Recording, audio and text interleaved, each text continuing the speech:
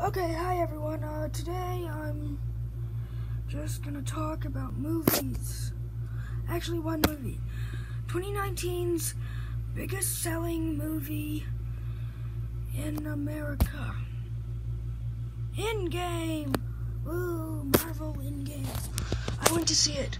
It was pretty awesome.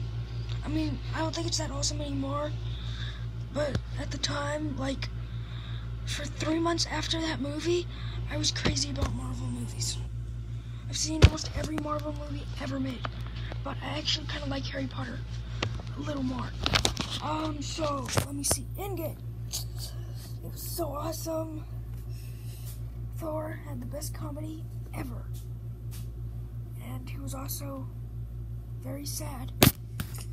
Okay, Iron Man. You know he dies. Okay, for that movie, I'm gonna rate it like, uh, let me see. How many stars do I want? People tell me my likes. Okay, today I'm gonna go um zero through six. So, um, the highest stars you can get on my channel, like I'm gonna go like six through zero as the stars. So, um, Endgame, I think it deserves. I don't know